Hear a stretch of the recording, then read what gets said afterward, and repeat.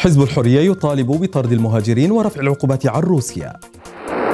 توقعات بتأخر تشكيل الحكومة النمساوية بسبب تعقيدات التحالفات. وسائل الإعلام الدولية تعبر عن غضبها عقب تصدر حزب الحرية للانتخابات. حزب الحرية يحقق 5 مليون يورو إضافية سنويا بعد تصدره للانتخابات. و30% من ناخبي حزب اس بي أو في فيينا غابوا عن الانتخابات. والنمسا تمنح الأوكرانيين بطاقة إقامة طويلة الأمد بشروط ميسرة. أسعد الله أوقاتكم مشاهدينا وإليكم نشرة الأخبار على النمسا ميديا لهذا اليوم. تصدر, تصدر حزب الحرية اليميني المتطرف الانتخابات البرلمانية في النمسا محققا 28.8% من الأصوات ومتقدما على الحزب المحافظ الحاكم. واستفاد الحزب من مخاوف الناخبين حول قضايا الهجرة والتضخم والحرب في أوكرانيا. وتبنى زعيمه هيربرت كيكل مطالب تتعلق بترحيل الأجانب وتعليق حق اللجوء. كما دعا الحزب إلى إنهاء العقوبات على روسيا وانتقد المساعدات العسكرية الغربية لأوكرانيا. بالإضافة إلى الدعوة للانسحاب من مشروع الدفاع الصاروخي الأوروبي. وهذه النتائج تمثل تحولا سياسيا بارزا وقد تعقد جهود تشكيل الحكومة المقبلة. حصل حزب الحرية اف بي أو على المركز الأول للمرة الأولى في الانتخابات النمساوية. ما شكل صدمة للأحزاب التقليدية مثل حزب الشعب والحزب الاشتراكي الديمقراطي اللذين أظهرا ضعفا ملحوظا. وفي ظل هذا الوضع يواجه النمسا تحديات كبيرة في تشكيل حكومة جديدة. حيث أعلن الرئيس ألكسندر فان دير بيلين عن بدء مشاورات مع جميع الأحزاب ويبقى الخيار الأوضح لتحالف حكومي هو بين FPÖ و ÖVP رغم رفض الأخير التعاون مع زعيم FPÖ هربرت كيكل وتشير التقديرات إلى أن عملية تشكيل الحكومة قد تستغرق أكثر من 60 يوما. أثار فوز حزب الحرية النمساوي FPÖ في الانتخابات الأخيرة. أثار اهتماما واسعا في وسائل الإعلام الدولية. ووصفت صحيفة دي فيلت الألمانية الفوز بأنه أفضل يوم في تاريخ الحزب مشيرة إلى استياء شعبي متزايد من جهتها. رأت صحيفة تسايت أن هذا الفوز يمثل تحديا للاتحاد الأوروبي مع تصاعد القوى اليمينية المتطرفة.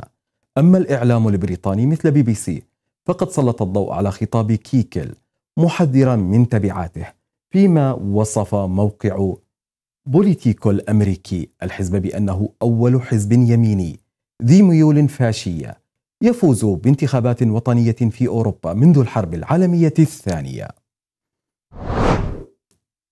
أسفرت الانتخابات الوطنية الأخيرة في النمسا عن تغيرات مالية كبيرة في ميزانية الأحزاب السياسية. حيث حقق حزب الحرية لأول مرة المركز الأول بنسبة 29.21% من الأصوات مما زاد من دخله السنوي بمقدار 5 مليون يورو ليصل إلى 11.3 مليون يورو. في المقابل تكبد حزب الشعب خسائر ضخمة حيث سينخفض تمويله بمقدار 4 مليون يورو إلى 10 مليون يورو سنويا وهو الأسوأ في تاريخه. كما كسب الحزب الاشتراكي 200 ألف يورو إضافية.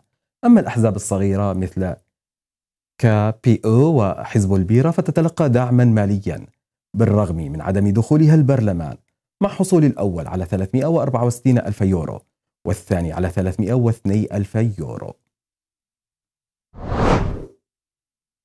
وأيضا مع حزب الحرية الذي حقق انتصارا تاريخيا في الانتخابات الأخيرة مستفيدا من تحويل أصوات العديد من ناخبي حزب الشعب أو فوبي السابقين وخاصة في فيينا. وأظهرت تحليلات تدفق الناخبين أن الحزب الاشتراكي الديمقراطي فقد سبعين ألف صوت بسبب عدم مشاركة ناخبيه بينما كسب الحزب 34% من ناخبي حزب الخضر السابقين. في المقابل فقد حزب الشعب 56 ألف صوت لصالح حزب الحرية مما يمثل 28% من ناخبيه. وقد يؤثر هذا التحول في توازن القوى السياسية على المشهد الانتخابي المقبل الخاص بمدينة فيينا. واعتبارا من الأول من أكتوبر بات بإمكان الأوكرانيين اللاجئين في النمسا التقدم للحصول على بطاقة أحمر أبيض أحمر بلاس وهي تصريح إقامة مؤقت قابل للتجديد. وأطلقت مدينة فيينا حملة توعوية متعددة اللغات لدعم المتقدمين ويشترط للتأهل أن يكون المتقدم قد عمل لمدة 12 شهرا خلال العامين الماضيين مع تأمين صحي كامل. وأشار نائب عمدة فيينا كريستوف ديركير إلى أن البطاقة تمنح الأوكرانيين وأصحاب العمل منظورا طويل الأمد فيما ستظل حماية النازحين سارية حتى 2025 ويمكن لحامل البطاقة الانتقال لاحقا إلى الإقامة الدائمة في الاتحاد الأوروبي.